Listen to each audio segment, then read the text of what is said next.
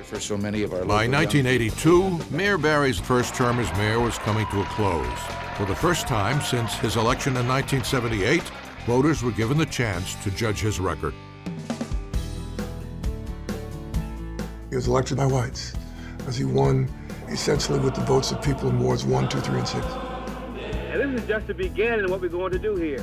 But once in power, Barry knew that tying his political future to the city's white residents was unsustainable.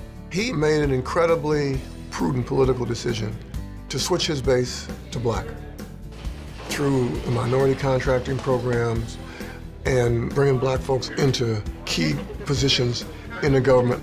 I can remember him saying, listen, you're going to be able to advance. You got to get prepared for leadership. And for somebody like me, I got to be chief because of Barry. Barry used the power of his position to encourage the creation and development of African American owned businesses.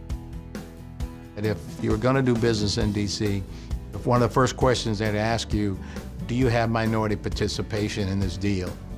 What came about was sort of a, a philosophy that white businesses should partner up with qualified African American business people. And once you get a black city council, all of a sudden the uh, white law firms start saying we gotta have black partners. And some of the white businesses start saying we have to have black lobbyists.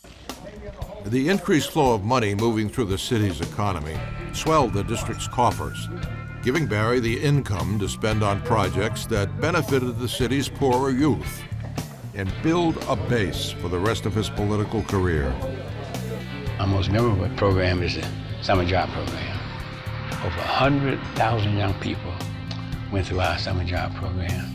I was just at some event, and the guy who was in charge of the people parking the cars came up to me. He says, I got my first job in the Marion Barry Summer Job Program. And he said, now I help run this company. That was the bar.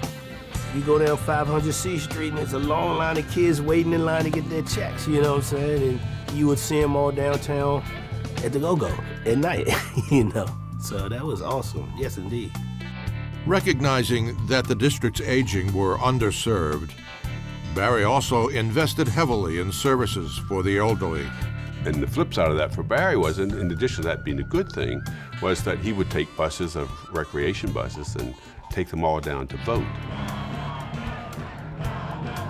In 1982, Barry was elected to a second term as mayor with 81% of the vote. I want to thank all of you for reaffirming your faith in me. For more clips and to watch the full program, visit weta.org/decades.